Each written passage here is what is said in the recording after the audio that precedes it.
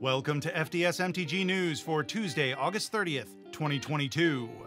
Previews have completed, and now I will be showing all the cards over there while I flap my lips over here about other stuff, like how Heroic Charge lists the wrong artist on the printed card. On Friday, August 26th, Wizards posted a statement on the Magic website stating that Paul Scott Canavan is not the artist for Heroic Charge. The actual artist is Zoltan Boros, who also happens to be the Magic the Gathering artist with the most metal name ever. The statement did note that Arena and Magic Online will include the correct attribution. Maybe with stickers coming in Unfinity, they can start including a sticker sheet with the correct attribution whenever this happens in the future, and we can make the correction on our own.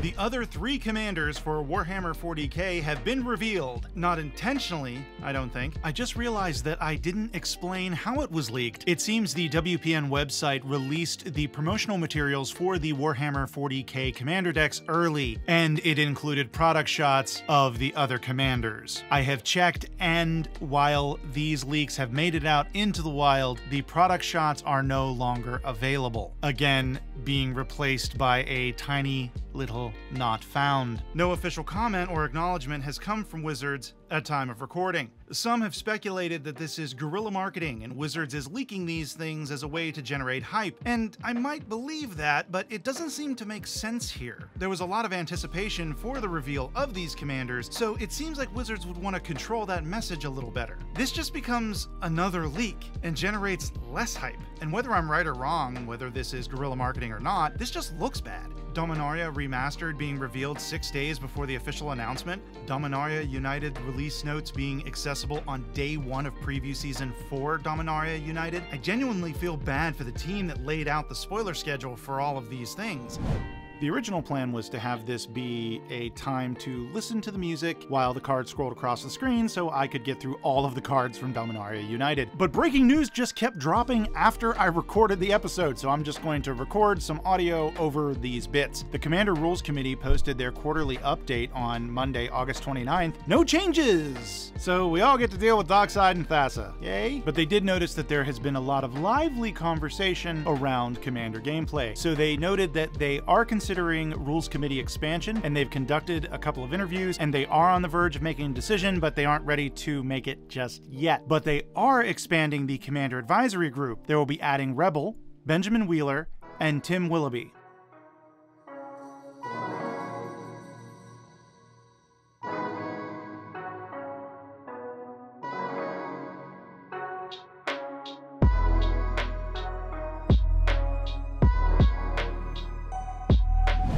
Noted in their most recent Arena update article that the Universes Beyond Lord of the Rings set to be released in Q3 of 2023 will be true to tabletop on Arena, and the cards they release from the set will not include any rebalancing on the program. It will be legal in Alchemy and Historic. I also think this is a good time to note that the Lord of the Rings set will be modern legal in paper, in addition to being legal in Vintage, Legacy, and other Eternal formats.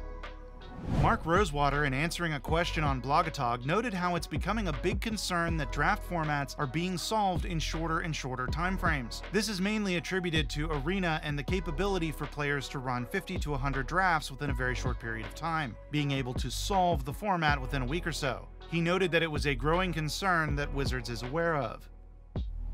No more vanilla creatures! Yep, with the rotation of Strixhaven, Zendikar Rising, and Kaldheim on September 1st, it will be the first time in history that there will be no vanilla creatures in Standard. A vanilla creature is a creature that has no abilities or mechanics. It's just a basic creature with a power and toughness. The last time a vanilla creature was printed in Standard, it was Ageless Guardian and Spined Karok in Strixhaven. They, along with Cliffhaven Sellsword, Grizzled Outrider, Highborn Vampire, and Murasa Brute, will be rotating out of Standard on September 1st, as Strixhaven, Zendikar Rising, and Kaldheim leave the format. There will still be plenty of French vanilla creatures, creatures with a single ability, as well as whatever the hell flavor you would call this.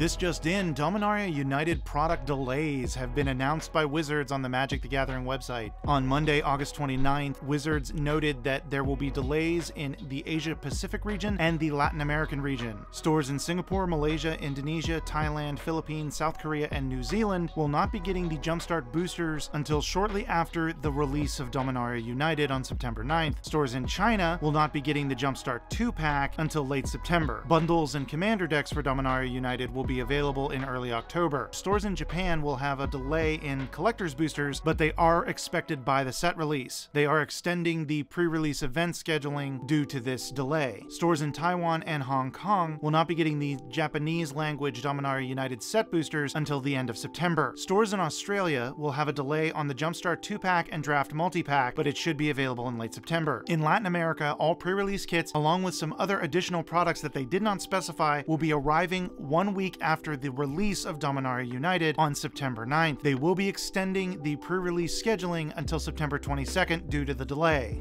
Now that preview season is over for Dominaria United, what cards are you most excited about? It seems the new Karn is inspiring conversations all over the web. While personally I expected a little more zhuzh in Karn's loincloth, I'm reserving judgment until the Brothers' War comes out. I mean, it probably won't really change much and he'll remain meh at best, but I'm still giving him a chance. And to be honest, I love me some Karn, so no matter what his power level, I would love this card. Yes, I do wish it was stupid powerful and I could slot it into my mono green Tron deck to make it a mono green tri Karn Tron deck, but I don't really need another reason for people to hate Tron.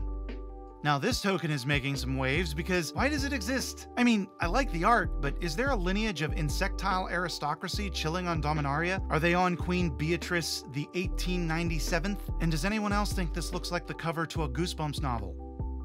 And from the Jumpstart packs, my chase card is Serra the Redeemer for my Giada deck. Overall, I think Dominaria United lands in a good spot in terms of power level and will be a fun set to draft. With the Brothers War right around the corner, there is a lot of pressure and expectations for that set to be good. We're probably getting a new Urza card and a Mishra card, and Gix, not to mention many, many more. And the expectation for that set to be broken is high, so it makes sense that this set was a little more understated. What cards are you looking forward to in Dominaria United? Is there a card you can't wait to build around? Or have as your new commander? Let me know in the comments down below. That about does it for today. Like, subscribe, check out my Patreon, and click on stuff. Welcome to FDS MTG. Wow, got two words in.